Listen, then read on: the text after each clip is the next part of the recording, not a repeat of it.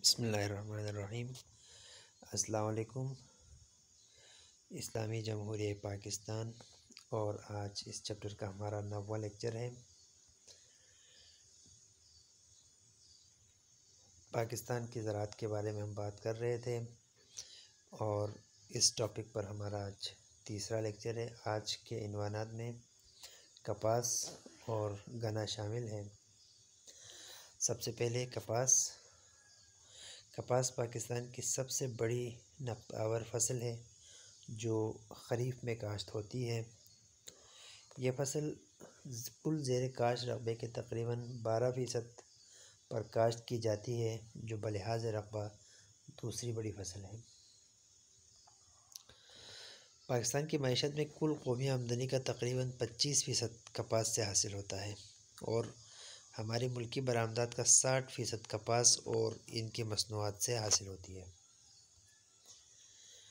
कपास काश्त करने वाले इलाके, इनमें पंजाब में मुल्तान बिहाड़ी खानीवाल, बहावलपुर, बहावलनगर रहीम यार ख़ान, राजनपुर, मुजफ़्फ़रगढ़, साहिवाल और जंग शामिल हैं।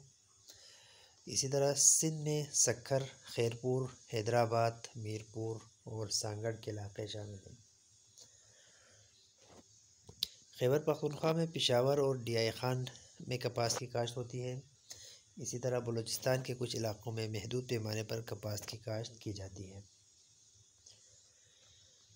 इस इसमें पर आप देख सकते हैं, पंजाब और सिंध के वो इलाक़े जहाँ पर कपास की काश्त होती है, इसको नुमाया किया गया है। अब आते हैं हम गना की तरफ़। गना अगरचे चार फ़ीसद ज़ेर काश्त रवा पर काश्त होती है, मगर ये एक अहम नकदावर फ़सल है। ये मौसम खरीफ की फ़सल है।